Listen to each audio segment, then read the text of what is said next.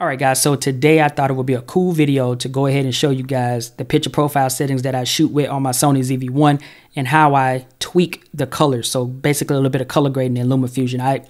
Now keep in mind the ZV-1 is an 8-bit camera, so you're going to be limited to the amount of color grading that you can do because it's not a 10-bit camera. So just keep that in mind. But at the same time, I feel like the ZV-1 is a good starting point to start to dive into learning how to color grade. All right. So I shoot in PP10 HLG2, which looks like this. And typically it has that like dull look. It looks kind of bright sometime or overwashed out sometime, depending on how bright the lights are and stuff like that and it looks a little washed out. Um, but after a little bit of tweaking uh, and applying some settings in LumaFusion I can always get it to kind of come back and look like what you see right now.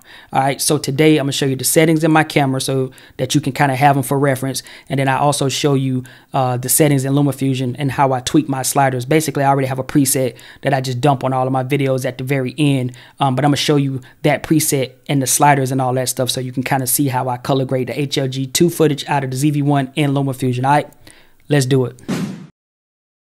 All right, so you're going to make sure you're under the first tab. You're going to scroll to page number nine, and under page nine, go down to picture profile, and you're going to select PP10. All right, under PP10, here are the settings.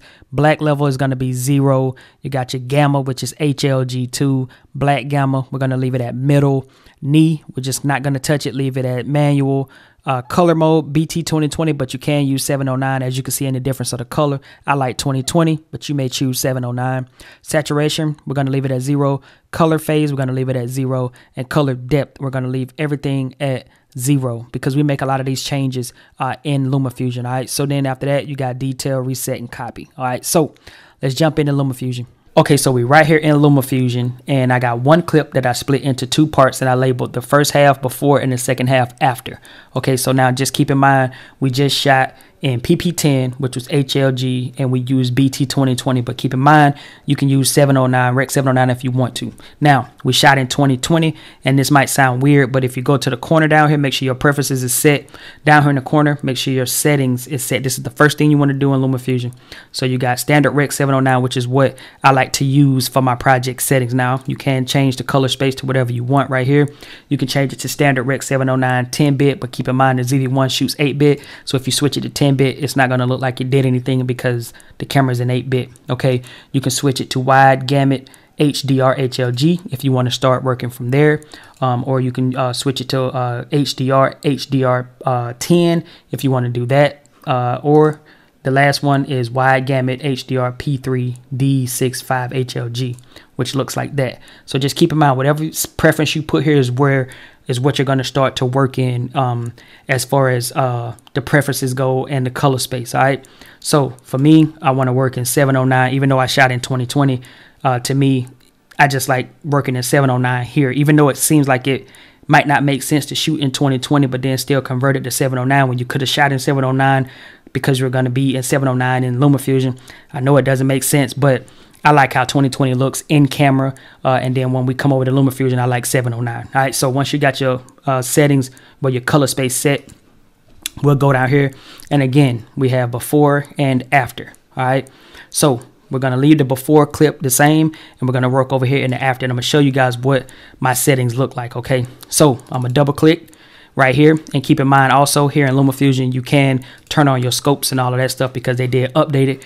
But because I've already done this, uh, these settings a long time ago and never used any of this stuff down here because it wasn't available at the time, I'm turning it off because I don't need it. All right. So right here, you're going to make sure you click color and effects right here in this corner, color and effects. See, once you click color and effects, you can go up here and then you can start applying your presets and actually saving them. But because I've saved so many presets down here in the start, I got so many presets for my footage and uh, my GoPro, my iPhone, the ZV-1 and so forth.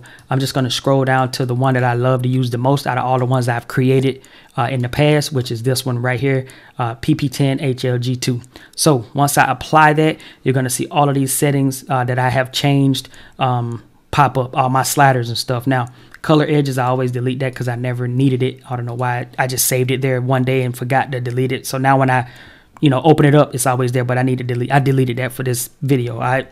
So these are all of the settings. Now, something's a, a, a, little bit of this is going to seem like it could be repetitive and i could have done it all in probably one or two or three of these little sliders or whatever but i just want to show you guys exactly what it looks like and what i have for my settings okay so my first one right here i got contrast and under contrast i have it set to 1.2 zero. So 20, I just always say the last digit. So the last two digits. So 20. I added 20 to the uh, contrast saturation. I added uh, 5 to it. And vibrance, I added 0.5, well, 0.5. All right. So those are my first one, two, three sliders that actually have any uh, value. Right here, my highlights and shadows, that right there is set to zero, as you can see. But my highlight amount is set to a full one because if I turn it off, it looks like that. So I got it set to a full one. My shadow amount is left at zero. Now, that's for contrast. But keep in mind my original and contrast. I could have all done I could have did what I did in original right here up in contrast, but I like to have it separate. Okay, so as far as sharpness is concerned, I always leave it turned off and I turn that on uh, on occasion if I feel like the video needs it. But I kind of like to shoot a little soft. I don't like it to look too uh, too sharp. But if I turned it on, this is what it would look like. Very very subtle. You probably can't tell or probably can't see it, uh, but it's very very subtle. Okay. Uh, but I like to leave it off and I turn it on if I need be. Uh, so right here, original, right here, this is everything under my original settings. Now keep in mind, original and contrast, all those settings are the same, uh, but there's, there's a few in original that I wanted to change that I didn't want to change on the contrast. So basically I just separated it.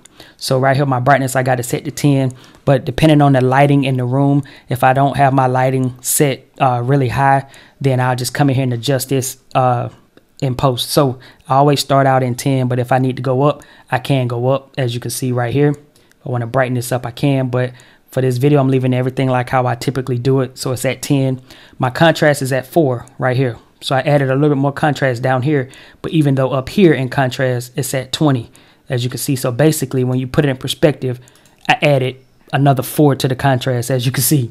Uh, saturation, we left it at an even 1. Vibrance, we left it at 0. But if you come up to contrast, we already did our saturation and vibrance as you can see. So uh, right here, next we have highlight radius. We left that to zero, highlight amount the same, and all that stuff's the same. Now keep in mind, everything I did here, I could have really did up there, but I always like to separate it just because I may want to turn this stuff off like this. So if I turn off my original, it'll look like that. If I turn on my original, it'll look like that. If I turn off my contrast, it'll look like that. If I turn it back on, it'll look like that. So I kind of like to have that stuff separate. Uh, for ColourPop, uh, my color pop, I always like to leave it at 80 right here. So let me go down to 80 just to show you guys. I always like to leave it at 80, but when but but when I did these settings back in the day, I left it at uh, at one. I left it at one um, because the lower you go, the more it messes with the color, as you can see. So I like to be at about 80, sometimes 85, depending on you know my lights in the bag and stuff like that. But right now I got it at 85. I'm actually going to put it back to 90, but this is what it looks like, okay? And if I turn it off, you probably can't tell, but if you look at this light and this light right here, you can see it. See that? It's very, very minute, but it's there, okay? So we'll leave that on. And then as far as uh, the uh, vignette, I love to have a vignette because I like to have that little darkness around these lights. So that's the only reason why I put the vignette, but it's at 75 and 1. If I turn it off, this is what it looks like. If I turn it back on, this is what it looks like. Now, turning it off, it still looks good to me, uh, but I like to turn it on because I like to give these lights a little bit of shadow over them so it can look like they stand out. That's just me. Maybe I'm wrong. Maybe these settings don't even make sense, but this is just what I like to do with my HLG2 footage. Okay, so now since we got all that stuff set, let's bag out of this real quick and we'll play the before and after. All right, so here's before. As you can see, it has a little bit of dullness, just a little bit, a little washed out. Colors are still there, but it's a little washed out. Then we jump into the after, as you can see. And, you know, this is what it looks like. So hopefully, you know, this video has helped you guys a little bit um, as far as the uh, colors is concerned and how to shoot an HLG2 on the ZV-1.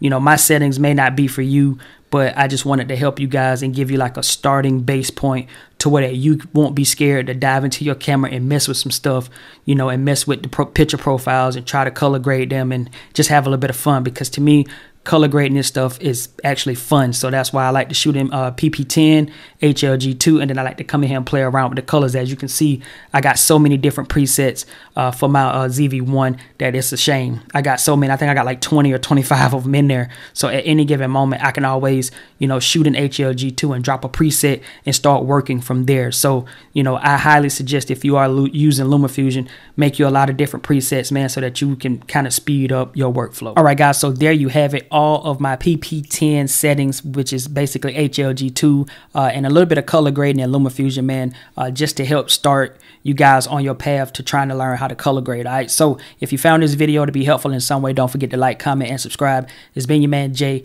and I'll catch y'all in the next one. Peace. Yeah.